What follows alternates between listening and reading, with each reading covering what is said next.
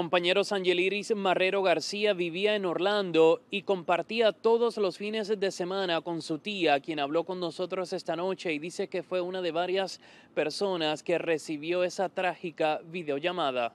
De la justicia divina nadie se escapa. Incrédula y destrozada se encuentra Yamira Ayala. Ahora sí pido mucha justicia en la tierra. Desayunaba la mañana del 31 de diciembre cuando, según cuenta, la pareja de su sobrina Angeliris Marrero García, Luis Eduardo Terreno Gómez, de 28 años, la llamó por video para mostrarle lo que habría cometido. Esas personas o seres o lo que sea se le llaman monstruos. No son dignos de ser ser humano. Marrero García tenía unas 80 heridas con un arma blanca, según informaron autoridades en República Dominicana, donde ocurrieron los hechos. Tú matas un cuerpo, pero tú no matas el alma.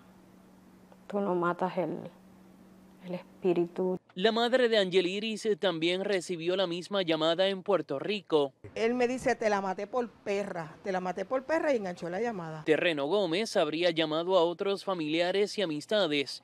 Esto es parte de una grabación proporcionada por Telenoticias en Puerto Rico. No quería, no justifica lo que hice. Claro que no hay justificación ninguna de hacer lo que hice, pero hice lo que tenía que hacer, mi hermano, y no me arrepiento. La mujer que tenía 27 años estaba embarazada y según la familia salió de Orlando a República Dominicana días antes de la despedida de año para visitar a su pareja como lo hacía regularmente y compartir la noticia con el resto de la familia del acusado sobre el embarazo. Esa era la emoción de ella. Estaba que no lo podía creer.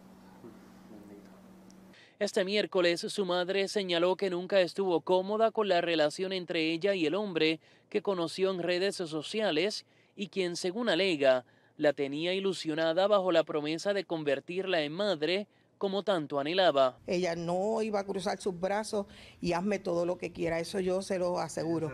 Sí, mi hija se defendió y estoy segura que se defendió con uñas y dientes. En el centro de Florida, su tía la recuerda como una persona cariñosa y atenta a los detalles. Angeliris le decoró su casa para la época de Navidad. Cada rincón de mi casa es ella. Es ella.